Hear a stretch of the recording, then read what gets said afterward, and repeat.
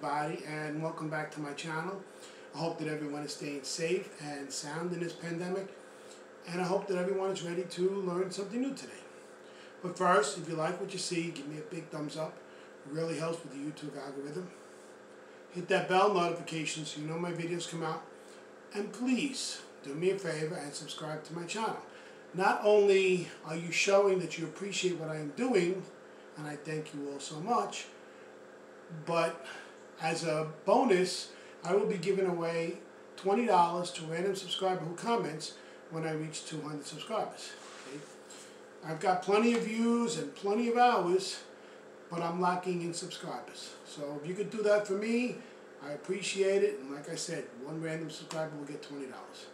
I'd like to get this done by the summer. Because after the summer, who knows I'm going to have time when I go back to work.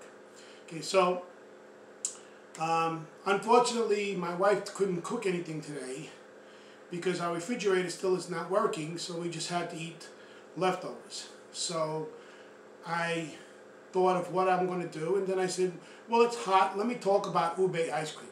I'm sure people don't even know what it is. Okay, so if you could see on the board, this is what ube ice cream looks like. It's purple. Okay, so the prep time is 10 minutes and the cook time is 10 minutes. So most of the time just takes the freezer. Ube, pronounced ube, is a purple yam from the Philippines with a mild sweet flavor. The taste has been described as slightly nutty or as a cross between vanilla and pistachio. It is frequently incorporated into desserts in Filipino cuisine with ube ice cream being one of the most popular preparations. I like to have the ube ice cream on top of the halo halo. Um, I will include in the link um, some other desserts. Okay.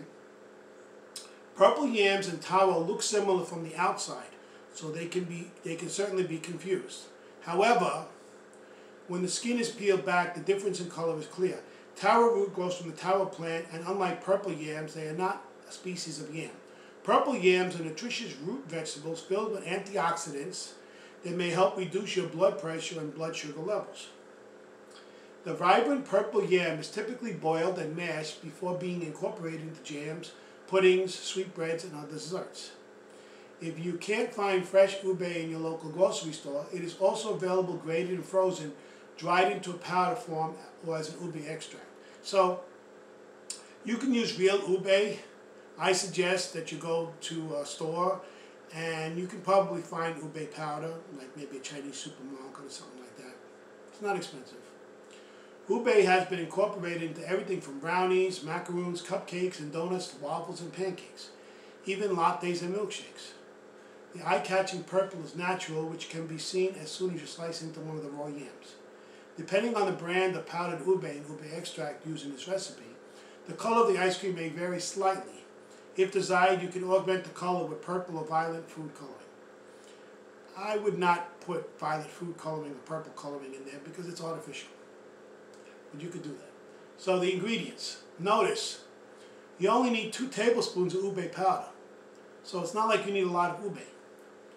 One cup of water, one and a half cup of whole milk, one and a quarter cup of granulated sugar, three cups heavy cream, one and a half tablespoons ube extract. And if you want to add coloring, you can add coloring. Okay. So steps to make it. Place the bowl of an ice cream maker in the freezer overnight. Gather the ingredients. Powdered ube needs to be rehydrated before use in recipes. In a medium saucepan, combine the powdered ube and water. Heat to a simmer and stir until mixture becomes thick. Almost like uh, making jello. Remove from the heat and cool completely before using incorporating into the ice cream. In a medium mixing bowl, whisk together the milk and granulated sugar until the sugar is dissolved. Okay. Stir in heavy cream and ube extract. Okay. Like I said, I wouldn't use the food coloring. Mix in the cool rehydrated ube and stir until completely combined. Churn according to manufacturer's directions about 25 minutes.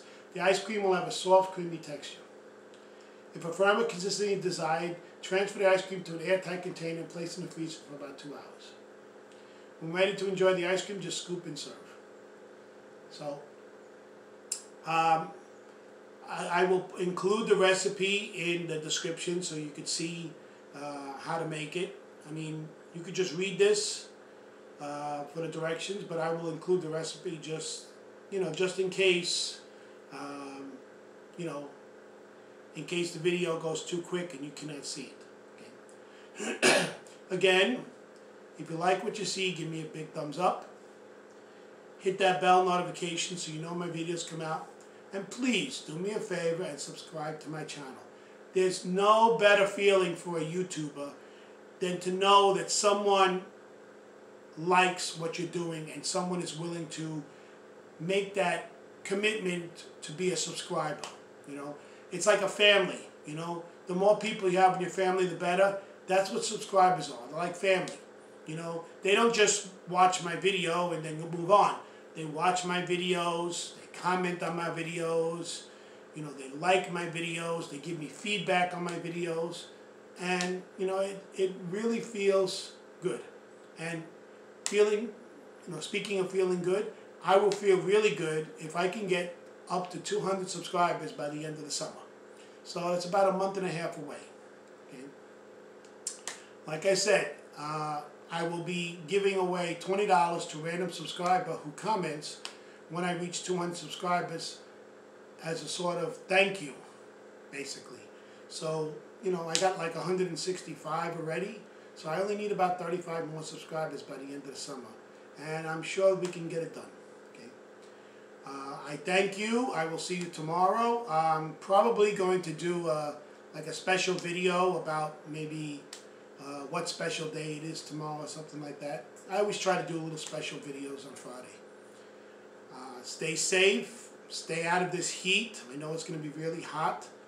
And please, you know, go out and try making the ube ice cream yourself. Um, I'm going to try making it myself when my wife can pick up some um, either ube powder or actual purple yams. I'm going to definitely try to make it myself. I thank you, and I will see you tomorrow.